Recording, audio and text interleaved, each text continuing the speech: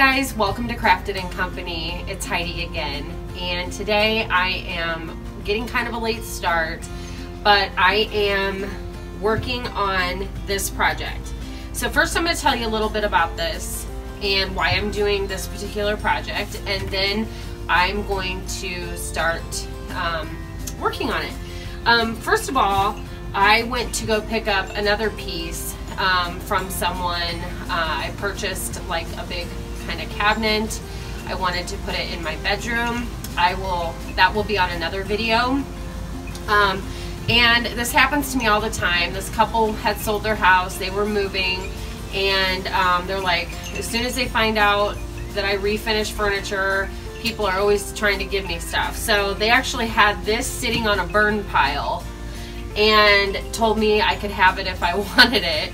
And I'm like, heck yeah. And the reason why, I'm not going to resell this piece unless someone saw it and absolutely had to have it.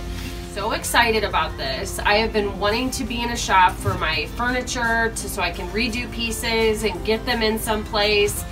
Um, so Crafted and Company is going going live. I am going to be in in an actual antique uh, antique shop and I'm super excited and I'm trying to find pieces. When I saw this and I'm gonna have to get a few more pieces just to keep in there but I wanted some stationary pieces that I can um, have look really nice to decorate my space. It's like an eight foot by six foot area so I have a lot of space to work with and I'm really excited about that. And so I'm gonna refinish this piece to keep there. This has kind of seen its better days but we'll see. I mean I can work magic. So first I noticed that this is, um, this piece here, I believe to be, um, it looks like solid wood.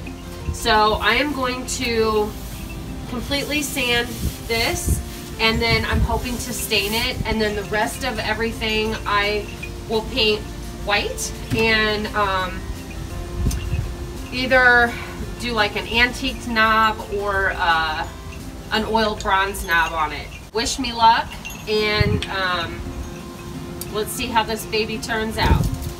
So for this particular project, I'm going to use this sander um, and we'll see. Um, I think this is going to do better for this project than the mouse would be.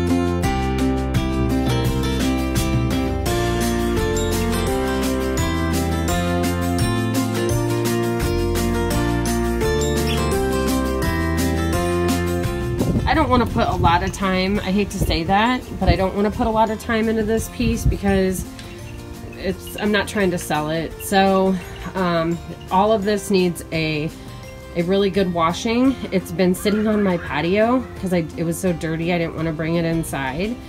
Um, but I am going to bring it in, vacuum it off, wash it off really good, and then let it warm up because it has been sitting outside so it's cold.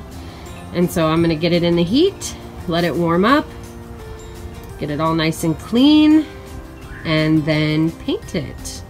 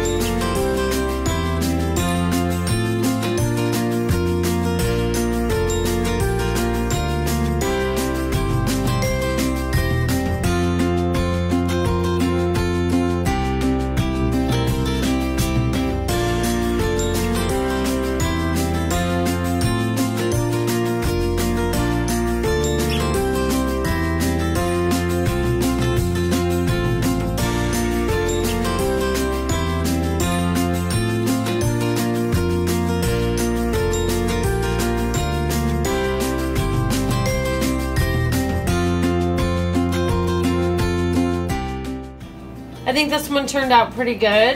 Um, I like the color. And I think against the white white, like the really white white, um, it's gonna look really good. I used a special walnut number 224. That's the stain color. Um, the Minwax. I really like this. And this is a really pretty brown. I like it a lot. So I'm going to use the Lucite from um, Menards. It's a, just a white satin. Um, so I'm gonna, some leftover paint that I had uh, when I did a wall in my bedroom.